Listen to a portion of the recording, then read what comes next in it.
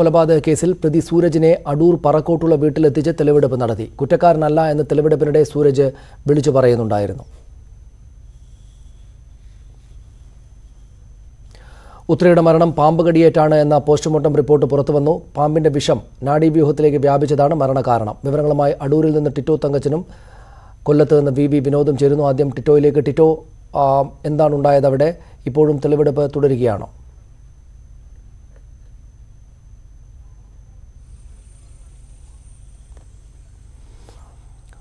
ടിറ്റോ തങ്കച്ചൻ വിവരങ്ങൾ നൽകും. അവിടെ നിന്നുള്ള ദൃശ്യങ്ങളാണ് നമ്മൾ കാണുന്നത്. അവിടെ തെളിവെടുപ്പിന് ഇയാളെ സൂരജിനെ അയാളുടെ വീട്ടിലേക്ക് എത്തിച്ചിട്ടുണ്ട്. അപ്പോൾ വലിയ ആൾക്കൂട്ടമാണ് നമുക്കറിയാം. നാട്ടുകാർ ഇത്രയ്ക്ക് പ്രമാദമായ ഒരു കേസായതുകൊണ്ട്. അല്ല മേളിലോട്ടെങ്കിലും അവരെ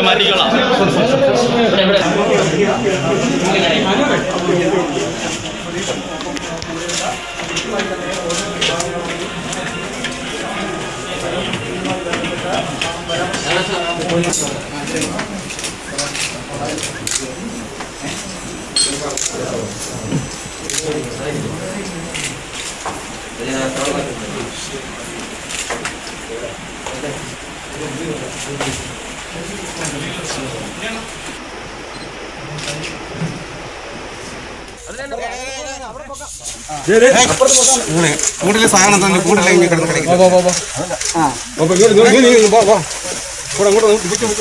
നിങ്ങൾക്ക് അവസരം ഉണ്ടല്ലോ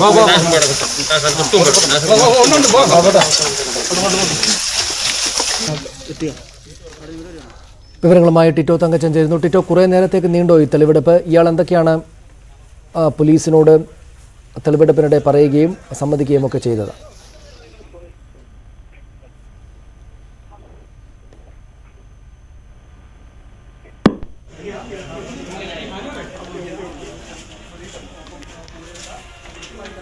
ടിറ്റോ വിവരങ്ങൾ എന്താണ് സനീഷ ഇപ്പോൾ സൂരജിന്റെ വീട്ടിൽ വെച്ചുള്ള തെളിവെടുപ്പ് ഇപ്പോൾ പൂർത്തിയായിരിക്കുന്നു. പോലീസ് സൂരജിനെ കൊണ്ട് പുറത്തേക്ക് പോയിരിക്കുകയാണ്. പോലീസ് തന്നെ മർദ്ദിച്ച് കുറ്റം സമ്മതിപ്പിക്കുകയായിരുന്നു എന്നാണ് സൂരജ് പുറത്തേക്ക് ഇറങ്ങിയപ്പോൾ പറഞ്ഞത്. അതുപോലെ തന്നെ ഈ പാമ്പ് പിടുത്തക്കാരനായ സുരേഷ് പറയുന്നത്. യൂട്യൂബിൽ ഇടുന്നതിന് വേണ്ടിയാണ് സൂരജ് പാമ്പിനെ ആവശ്യപ്പെട്ടതെന്നും അത് പ്രകാരമാണ് താൻ പാമ്പിന് നൽകിയതെന്നും സൂരജ് പുറത്തെ ഈ പാമ്പ് പിടുത്തക്കാരനായ സുരേഷ് പുറത്തേക്ക് ഇറങ്ങിയപ്പോൾ ഉറക്കെ വിളിച്ച് പറയുന്നുണ്ടായിരുന്നു. ഉത്തരയുടെ വീട്ടിൽ എത്തിയപ്പോൾ അവിടെ പാമ്പിനെ സൂക്ഷിച്ചു എന്ന് പറയുന്ന കുപ്പിയിൽ തന്റെ കൈപ്പത്തിയുടെ അടയാളം അവിടെ പോലീസ് നിർബന്ധിച്ച് പതിപ്പിച്ചു എന്ന ആരോപണവും സൂരജ് മാധ്യമങ്ങളോട് ഉറക്കെ വിളിച്ച് പറയുന്നുണ്ടായിരുന്നു. തന്റെ കുടുംബത്തിനും മറ്റും പോലീസിൽ നിന്ന് ഭീഷണിയുണ്ടെന്നും സൂരജ് പറഞ്ഞു. സൂരജിനെ ഏതാണ്ട് പത്ത് മുക്കാൽ കഴിഞ്ഞപ്പോൾ ഇവിടെ എത്തിച്ചു. അതിനുശേഷം ഏതാണ്ട് ഒരു മണിക്കൂറിലധികം തെളിവെടുപ്പ് ഇവിടെ നീണ്ടു നിന്നു. അതിനുശേഷമാണ് ഇപ്പോൾ പുറത്തേക്ക് കൊണ്ടുപോയിരിക്കുന്നത്. സൂരജ് പറഞ്ഞത് പ്രകാരം ഈ സ്റ്റെപ്പിൽ ആദ്യം അണലിയെ ഇവിടെ ആ, പാമ്പ് പിടുത്തക്കാരൻ കൊണ്ട് കൊടുത്തു. അതിനുശേഷം അയാൾ ഇതിനെ ഇവിടെ സൂക്ഷിച്ചു. അത് ഉപയോഗിച്ചാണ് ഈ ഭാര്യയെ കടിപ്പിച്ചത്. അതിനുശേഷം വീടിന്റെ മുകളിലത്തെ നിലയിൽ നിന്നും താഴേക്ക് ഈ പാമ്പിനെ എറിയുകയായിരുന്നു എന്ന് ഇയാൾ പോലീസിനോട് പറയുന്നുണ്ട്. അത് പ്രകാരമുള്ള അന്വേഷണം പോലീസ് ഈ പരിസരമൊക്കെ പരിശോധിച്ചു. ഈ വീടിനോട് ചേർന്ന് ഒരു ചെറിയ പാടമാണ്.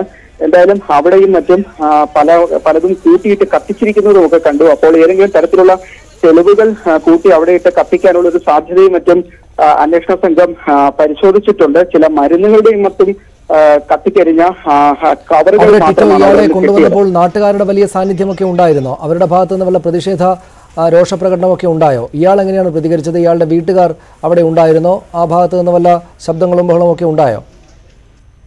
നിരവധി പേർ ഇയാൾ വരുന്നു എന്നറിഞ്ഞ് നിരവധി നാട്ടുകാരായ നിരവധി പേർ ഈ വീടിന് ചുറ്റും കൂടിയിരുന്നു. പക്ഷെ അവരാരും തന്നെ സാധാരണ സാധാരണ പ്രതികളെയൊക്കെ തെളിവെടുപ്പിന് കൊണ്ടുപോകുമ്പോൾ കൂക്ക് വിളിക്കുകയോ പ്രതികളെ ആക്രമിക്കാനൊക്കെ ശ്രമിക്കുന്ന ഒരു ഒരു കാഴ്ച നമുക്ക് സ്ഥിരമായി നമ്മൾ കാണുന്നതാണ്. എന്നാൽ ഇവിടെ അങ്ങനെയൊന്നും ഉണ്ടായില്ല. ആളുകളെല്ലാം പഠിച്ചുകൂടി എന്ന് മാത്രമേ ഉള്ളൂ. ആളുകൾ ഇപ്പോഴും പറയുന്നത് ഈ സൂരജിനെ കുറിച്ച് പൊതുവെ ഇവിടെ ആളുകൾ പറയുന്നത് അവന് അയാൾ ഒരു ശാന്ത സ്വഭാവക്കാരനായിരുന്നു. വീട്ടുകാരുടെ പൊതുവെ ഭാഗത്ത് അങ്ങനെ- നിന്ന് എന്ത് പ്രതികരണമാണ് ഉണ്ടായത്? വീട്ടുകാരുടെ ഭാഗത്തു നിന്ന് അത് സൂരജിന്റെ പിതാവ് പറയുന്നത് ഇപ്പോൾ ഈ സൂരജിന്റെ കുഞ്ഞിനെ ഉത്രയുടെ വീട്ടുകാർ ഏറ്റെടുത്തിരിക്കുകയാണ് അവർ ആ കുട്ടിയെ കൊല്ലാനുള്ള സാധ്യതയുണ്ട് അവിടെ ഇയാളെ കൊണ്ടുവന്നപ്പോൾ എന്തായിരുന്നു പ്രതികരണം എന്നായിരുന്നു ഞാൻ ചോദിച്ചത് വളരെ നന്ദി വളരെ നന്ദി ആ വിവരങ്ങൾക്ക് ടിറ്റോ സൂരജ് നേരത്തെ ഞാൻ കുറ്റക്കാരനല്ല എന്ന് വിളിച്ചു പറയുന്ന പോലുള്ള നാടകീയമായ രംഗങ്ങൾ അവിടെ ഉണ്ടായി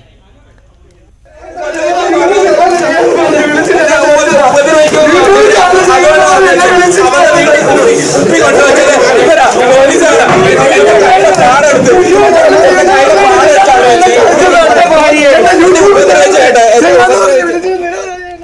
ഇതായിരുന്നു അവിടെ ഇയാളെ കൊണ്ടുവന്നപ്പോഴുള്ള രംഗം. അയാൾ വിളിച്ചു പറയുകയും മറ്റും ചെയ്യുന്നു പോലീസുകാർക്ക് അന്വേഷണ ഉദ്യോഗസ്ഥർക്ക് കുറച്ച് പാടുപെട്ടാണ് ഇയാളെ അവിടെ നിന്ന് കൊണ്ടുപോകാനൊക്കെ സാധിച്ചത്.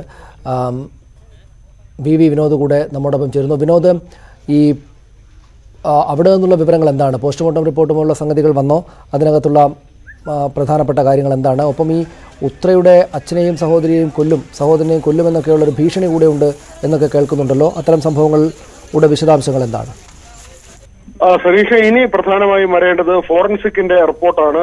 പ്രധാനമായും ഉത്തരയ്ക്ക് കടിയേറ്റ പാടുകൾ. അതും ഇപ്പോൾ കഴിഞ്ഞ ദിവസം പോസ്റ്റ്മോർട്ടം ചെയ്ത പാമ്പിന്റെ പല്ലുകൾ. ഇതിന്റെ അകലം ആഴം ഇത് കൃത്യമായി രേഖപ്പെടുത്തി വേണം ഏറ്റവും പ്രധാനപ്പെട്ട തെളിവായി. കാരണം ഇവിടെ ആയുധമായിരിക്കുന്നത് പാമ്പാണ്. അതുകൊണ്ട് തന്നെ ആ കാര്യങ്ങൾ കൃത്യമായി രേഖപ്പെടുത്തി വേണം ഇനി മുന്നോട്ട് പോകേണ്ടത്. മറ്റൊരു കാര്യം ഈ പാമ്പ് പിടുത്തക്കാരനുമായി സൂര്യനുള്ള ബന്ധം അത് ഒരു സ്വാഭാവിക ബന്ധമല്ല എന്ന് തന്നെയാണ് ഇതുവരെ അന്വേഷണ സംഘം പറഞ്ഞത്. പ്രോസിക്യൂഷന് അത് തെളിയിക്കാനും കഴിയും. കാരണം വീട്ടിൽ പാമ്പിന്റെ ശല്യം ഉണ്ടെങ്കിൽ ഒരു പ്രാവശ്യം പാമ്പ് പിടുത്തക്കാരനെ കൊണ്ടുവരുന്നു അല്ലെങ്കിൽ രണ്ടോ മൂന്നോ തവണ കൊണ്ടുവരുന്നു.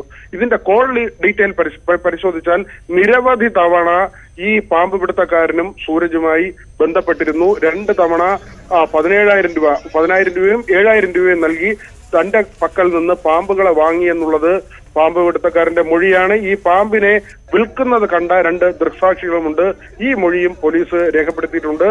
എങ്കിൽ തന്നെയും ശാസ്ത്രീയമായ തെളിവുകൾ ഇതിന് അനുബന്ധമായി വരേണ്ടതുണ്ട്. അതൊക്കെ തന്നെ അന്വേഷണ സംഘം കൃത്യമായി ശേഖരിക്കുന്നു. ഏതായാലും എൺപത്തി ഏതായാലും എൺപത്തിയഞ്ച് ദിവസത്തിനും ഉള്ളിൽ ഈ കുറ്റപത്രം സമർപ്പിക്കാനാണ് തീരുമാനിച്ചിട്ടുള്ളത്. ശരി ശരി. നന്ദി. വിനോദ് വിവരങ്ങൾക്ക് അന്വേഷണം അതിന്റെ വഴിക്ക് പുരോഗമിക്കുകയാണ്. അതിന്റെ ഭാഗമായിട്ടാണ് ഇയാളെ